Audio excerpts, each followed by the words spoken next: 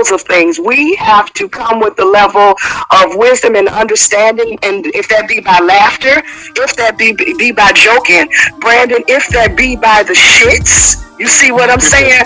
That you have to give in to who you are fully and not give a fuck how you are formulated uh, to somebody else. That's for them. And, you know, if you laugh at two dads humping in the street and then one get hit by a car and that shit is super funny to you, then you better use that motherfucking injury, you know, to go ahead and get that laugh out because that's a part of who you are.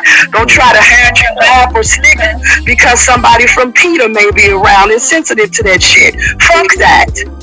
Exactly. Yeah. You know, and it, it just gets to a point in your life where you should not, you know, we all, all of us on the phone, we know about programming. You know, our first programmers were our parents.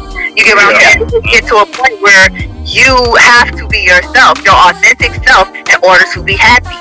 And I know one thing that makes me happy is laughter. So I laugh at the most inappropriate ass shit.